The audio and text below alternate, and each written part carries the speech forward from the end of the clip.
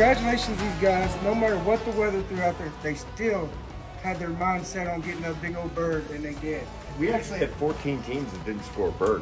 It, the conditions, the conditions this year for our turkey competition Cold. was cold, Wet.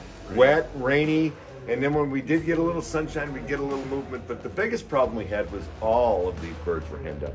Oh yeah. We, So- we, we had the same. So I would say that one or more of the birds that they killed were probably killed in a deer hunting mode, where they didn't call it off, or the bird just showed up.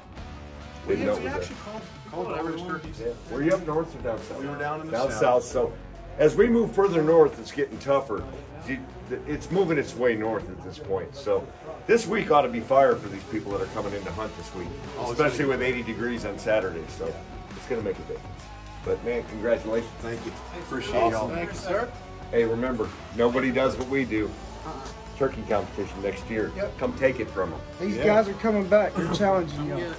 You. Let's put them on the spot. This is our third place team, TNT. So they're, they're putting out the same challenge. They're coming back Uh-oh. next year for those trophies.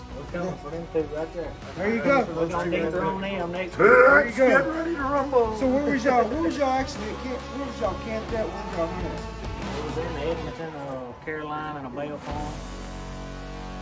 Y'all, so was y'all? Was you down here central or south? So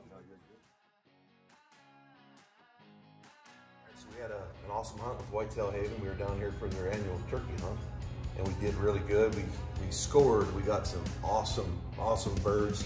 We got three that actually made Boone and Crockett. The largest one was scored over 80. So we broke a new personal record, new PR. We had a blast. Folks are good. It was organized.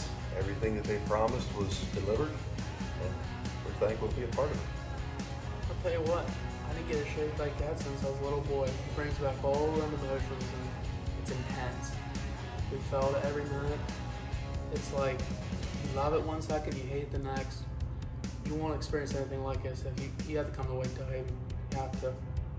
It's the funnest thing in the world. Being that it's a tournament, a competition adds a little bit of something extra. So sometimes when I'm hunting turkeys, you know, you say it's late morning, they fly, and flew down, they're henned up, and it's like, you know what? I might go back in early today, but when you're in the tournament, you push all day. It adds a little extra. 16 extra. hour days, getting It puts some oomph into it for you. It makes it exciting, and that heart is pumping when that gobbler's coming in. It's it's awesome. So we're out, boys. 2022. Whitetail Heaven.